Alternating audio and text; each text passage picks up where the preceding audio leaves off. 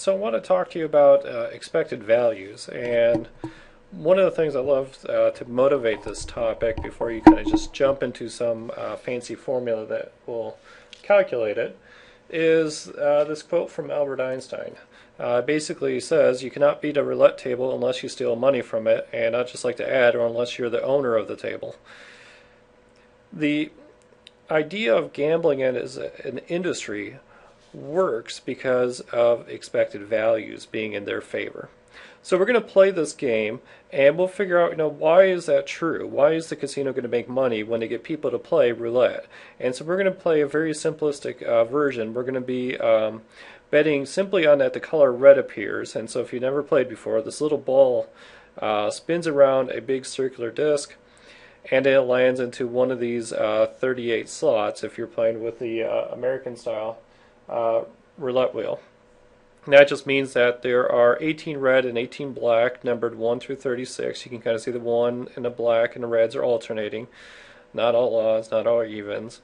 Um, and then there's also two green slots, uh, a zero slot and a double zero slot. Okay, so here's the, the details we have of the game, is that there are uh, 18 red, 18 black, two green slots.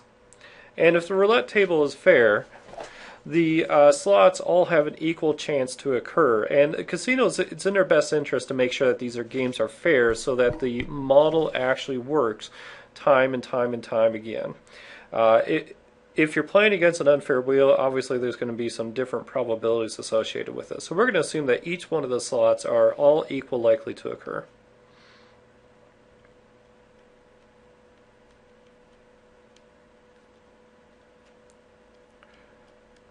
So we want to see what happens as we play this game uh, a large number of times. So we're going to bet uh, $1 on red. And what happens is that if we win, the casino pays us $1 and we can pull our poker chip back. We also get our dollar back. Now, if we lose, then the casino collects our $1.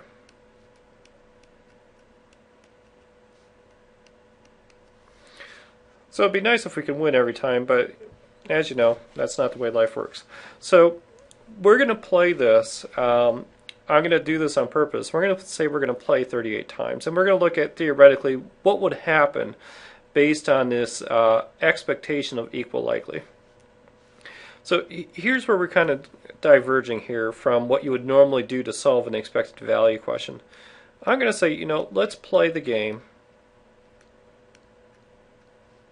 38 times.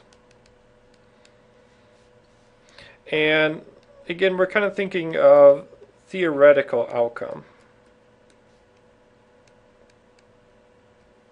The theoretical outcome is if each slot is equal likely and I played 38, slot, 38 times, then the ball landed in every one of those 38 slots.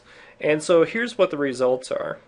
Is that out of the 38 times, 18 would land on red. And for us, that means, yay, we win. The other 20 times, 18 are black, 2 green. So we have 20 times that we're going to lose.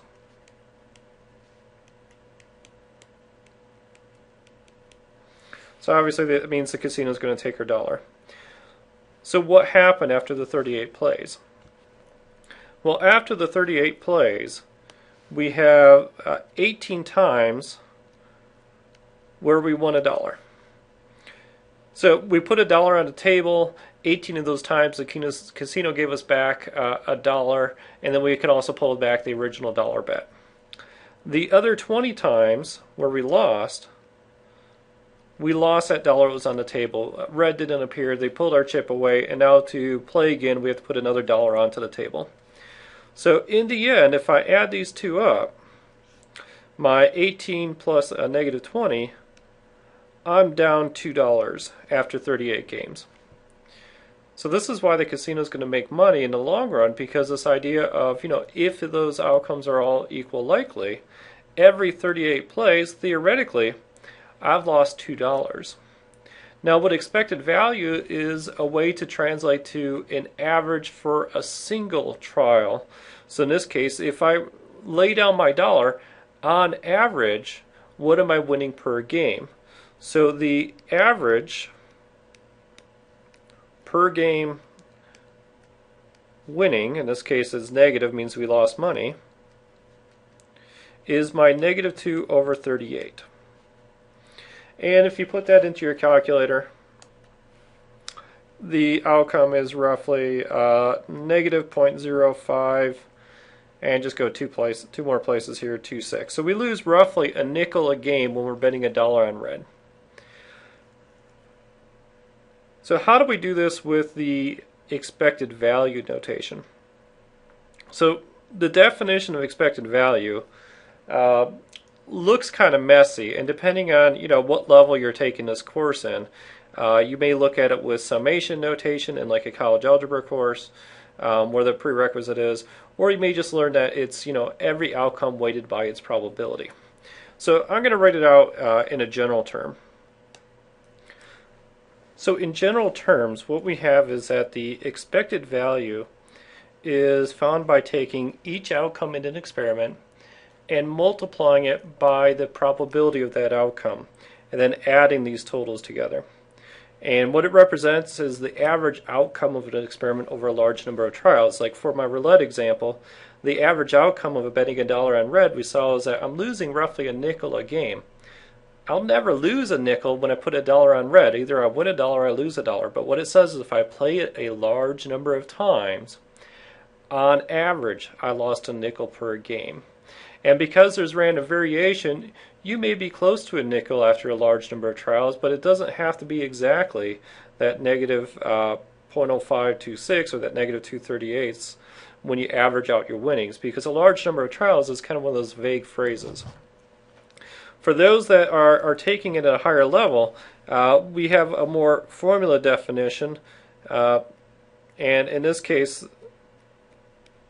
some students may not know what some of these symbols represents, but it says it's the sum from n equals to uh, 1 to k, where k is the number of outcomes, of x of n times the probability of x of n.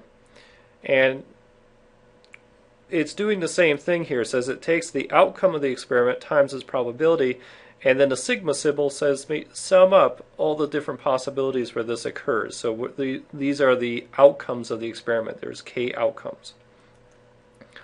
Okay, so we're going to look at this uh, same example now, but we're going to use the definition to calculate the expected value rather than kind of using the idea like we did in a roulette earlier. So when I want the expected value, I have to kind of list out what are the outcomes and what are their probabilities.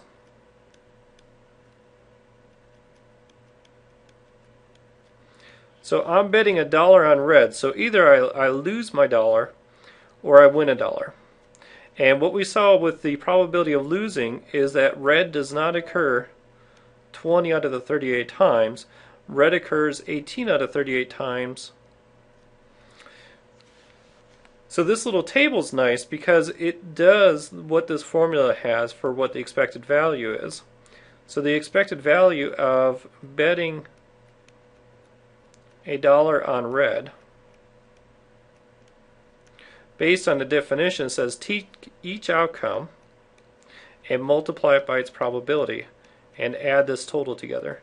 So negative 1, I lost my dollar with the probability 20 by 38. The next outcome is, well, I won a dollar. Its probability was 18 by 38. And so the expected value of this experiment, well, I multiply by negative 1, multiply this by positive 1. I have negative 20 38ths plus 18 38ths. We already have our common denominator, so I know this is negative 2 by 38 the same thing we got by theoretically playing the game 38 times and taking our average winning. So my expected value is still roughly 0.0526. And that was the same calculation that we did up here. So I hope this helps you understand the idea of what the expected value is and how to calculate them based on an experiment.